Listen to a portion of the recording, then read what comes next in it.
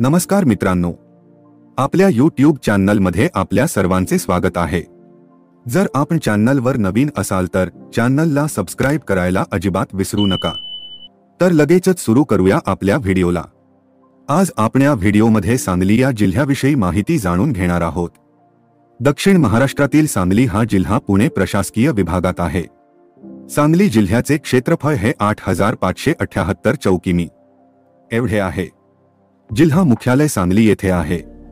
जिल्हाचे स्थान व विस्तार पुढील प्रमाणे आहे. सांगलीच्या पूर्वेस व दक्षिणेस कर्नाटक राज्य, दक्षिणेस व नैऋत्येस कोल्हापूर, पश्चिमेस रत्नागिरी, उत्तरेस व वायव्येस सातारा, उत्तरेस व ईशान्येस सोलापूर जिल्हा आहे. सांगली जिल्ह्यात एकूण दहा तालुके आहेत. एक, मिरज. दोन, तासगाव. तीन, खानापूर. चार, आटपाडी. पाच, जत. सहा, कवठेमहांकाळ. सात शिराळा, बत्तीस शिराळा. आठ वाळवा, नऊ पलूस, दहा कडेगाव. सांगली या जिल्ह्यात कृष्णा ही प्रमुख नदी आहे. तसेच वारणा, येरा, बोर, मानगंगा या अन्य नद्या आहेत. तसेच वारणा नदीवरील चांदोली धरण हा प्रमुख धरण आहे. येथील प्रमुख पिके ज्वारी गहू, हरभरा, ऊस, हळद, तंबाखू इत्यादी आहेत तसेच सांगलीचा हळदीचा वायदे बाज़ार जगप्रसिद्ध आहे. तसेच सांगली तासगावची द्राक्षे प्रसिद्ध आहेत प्रमुख पर्यटन स्थळे पुढील प्रमाणे आहेत.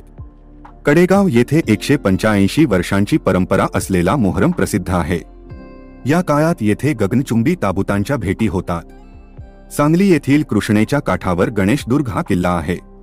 येथील आकाशवाणी केंद्र विशेष लोकप्रिय झाली आहे.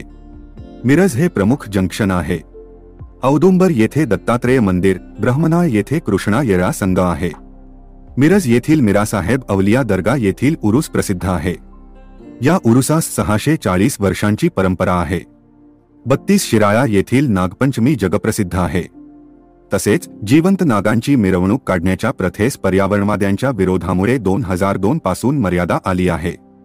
कडेगाव तालुक्यातील देवराष्ट्रे स्वर्गवासी यशवंतराव चव्हाणांची जन्मभूमी आहे. आटपाडी तालुक्यातील खरसुंडी येथील सिद्धनाथ बाबाची चैत्री यात्रा प्रसिद्ध आहे. अशा प्रकारे आपण सांगली या जिल्ह्यातील महत्वाची माहिती जाणून घेतली. जर आपल्याला ही माहिती उपयुक्त ठरली असेल तर चॅनलला लाईक व सबस्क्राईब करायला अजिबात विसरू नका. धन्यवाद. जय महाराष्ट्र.